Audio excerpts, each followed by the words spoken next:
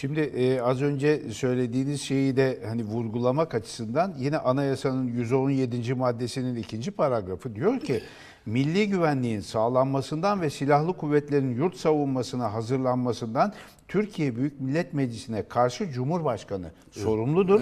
Sonra da devam ediyor. Cumhurbaşkanınca atanan Genelkurmay Başkanı silahlı kuvvetlerin komutanı olup savaşta başkomutanlık görevlerini Cumhurbaşkanlığı namına yerine getirir. Burada Şimdi Genelkurmay Milli Savunma Başkanı- Bakanı, yani kamu Evet. yönetimi açısından Zafer Bey burada Milli Savunma Bakanı'nın yeri yok. Yok. Yok böyle bir şey yok.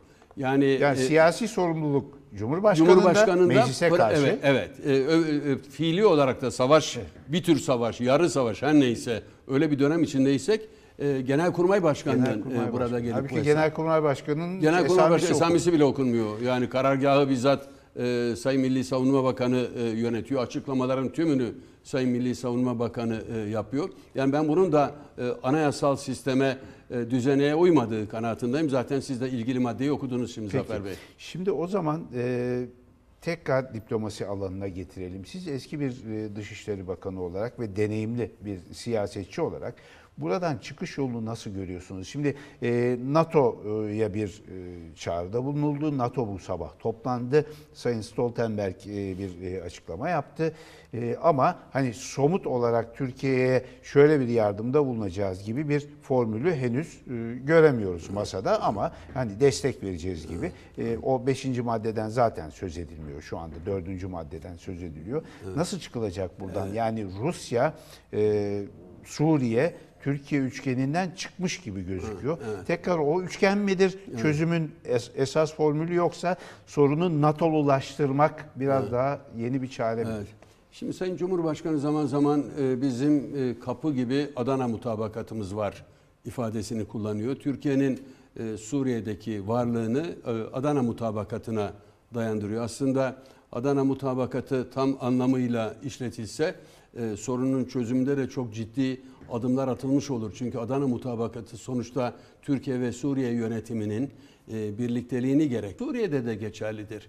E, çünkü nasıl ulusal mutabakat hükümeti Birleşmiş Milletler nezdinde Libya'nın meşru yönetimi ise Esad yönetimi de Birleşmiş Milletler nezdinde Suriye'nin meşru yönetimidir. Oysa ki bakın daha geçen hafta Türkiye'nin Birleşmiş Milletler daimi temsilcisi Sayın Sinirlioğlu Evet. bir oturum sırasında bu Suriye konulu oturum sırasında kalktı şöyle bir laf etti. Dedi ki ben az önce konuşan kişiyi yani Suriye temsilcisini Temsilcisi. kastetti. Meşru muadilim kabul etmiyorum. Evet, evet. Yani şimdi e, tabii bizim eleştirilerimiz olabilir, değerlendirmelerimiz olabilir de burada önemli olan bizim değerlendirmemiz değil. Burada önemli olan Birleşmiş Milletler'in değerlendirmesi. Birleşmiş Milletler e, meşru yönet ama biz maalesef doğrudan görüşmek yerine aracılarla ya da doğrudan görüşeceğimiz zaman da memurlarla, istihbarat başkanlarıyla görüşmeyi yapıp bir sonuca ulaşmaya çalışıyoruz.